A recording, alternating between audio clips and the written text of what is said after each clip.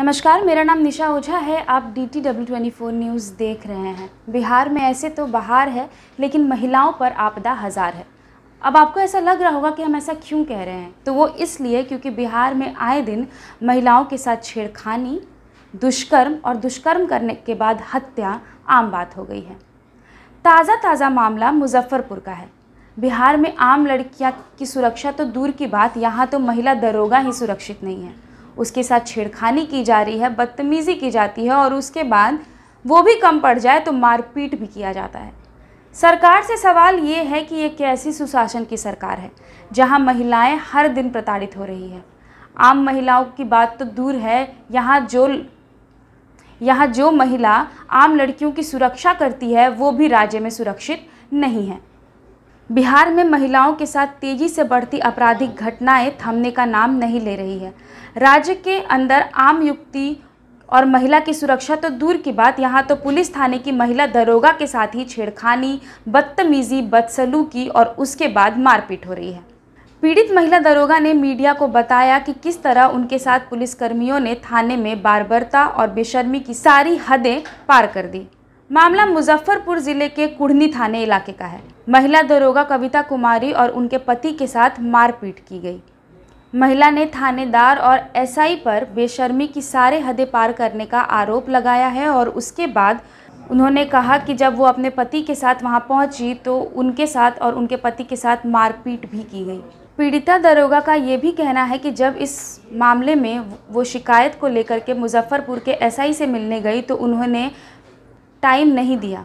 वो शिकायत के लिए खड़ी रही लेकिन उसके ओर से कोई पहल नहीं की गई। जब मुजफ्फरपुर में पुलिस अधीक्षण से बातचीत की गई तो उन्होंने कहा कि मामला संज्ञान में आया है घटना की छानबीन की जा रही है। आईजी को भी इस मामले की जानकारी दे दी गई है। देखिए घटना ये है कि 30 तारीख को मेरे साथ मारपीट हुई और मेरे हस्बैंड के साथ भी मारपीट हुई है। हम लोगों को इस तरीके से गाली गलौज दे के वहाँ पे बेइज्जत किया गया है। इसी के लिए मैं हर जगह जा जा के न्याय की उम्मीद कर रही हूँ। कल मैं एडीजी सर एडीजी सर से भी वहाँ मिली डीजी सर से भी मिली हूँ और डीजीपी सर को भी मैंने एप्लीकेशन दिया है। अब मैं आगे उम्मीद कर रही हूँ कि आगे मुझे क्या न्याय मिलेगा। आज क्या लगाया मैडम आरोप ये लगाया कि मुझे मेरी लज्जा भंग की गई है मुझ, मुझे पूरी तरीके से शारीरिक और मानसिक पीड़ा दी गई है मुझे ठेल ठाल किया गया है। उसके बाद जब मेरे हस्बैंड इस चीज़ का बोले हैं कि क्यों आप इस तरीके से इनके साथ बिहेव कर रहे हैं तो देखिए इनके साथ क्या बिहेव किया गया है।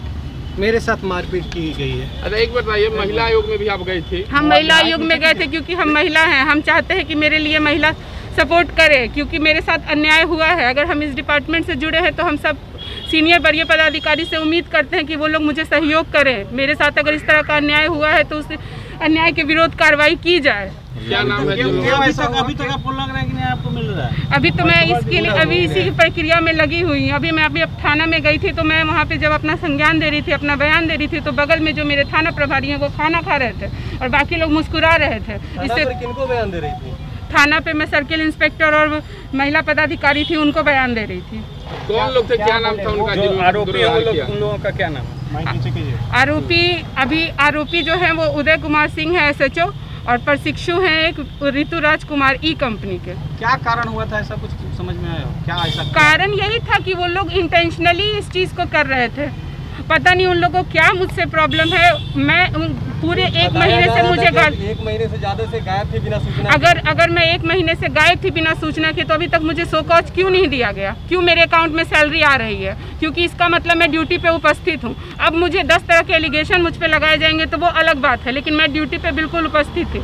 तेरह दिन के लिए मुझे कोरोना हुआ था वो भी मैं ड्यूटी के दौरान मुझे कोरोना हुआ था। और उस, उस उसके बाद मैं थाना पे उपस्थित हुई थी। उसके बाद भी मुझे इस तरह की मानसिक पीड़िता दी जा रही कोरोना का इलाज मेरा जहाँ होना चाहिए वहाँ कराया गया था सदर हॉस्पिटल में। ऐसे में सवाल ये उठता है कि क्या बिहार में आम लड़कियों के साथ साथ आम लड़कियों की रक्षा करने वाली महिला दरोगा महिला पुलिस भी सुरक्षित नहीं है? हालाँकि ये कोई पहली बार नहीं है जब बिहार में ऐसा मामला सामने आया है जहाँ पे महिला दरोगा या पुलिसकर्मी के साथ छेड़खानी हुई है, लेकिन ये, लेकिन इस तरह के मामले बिहार के और बिहार में महिलाओं की स्थिति को शर्मसार करती है कि क्या लड़कियाँ छेड़खानी, दुष्कर्म और बदतमीज़ी को अपनी नियति मानकर चुप बैठे या फिर आवाज़ उठाए? आखिर कब तक लड़कियाँ यूँ ही शिकायत दर्ज करवाती रहेगी और लोग खबर सुनकर चुप होते रहेंगे? आप डी टी डब्ल्यू न्यूज़ देख रहे थे, मेरा नाम निशा था और इस तरह की तमाम बड़ी खबरों को देखने के लिए आप बने रहिए हमारे साथ। अगर आपने अभी तक हमारे चैनल को लाइक नहीं किया है तो फेसबुक पर लाइक कर लीजिए और यूट्यूब पर सब्सक्राइब भी कर दीजिएगा। बहुत बहुत शुक्रिया।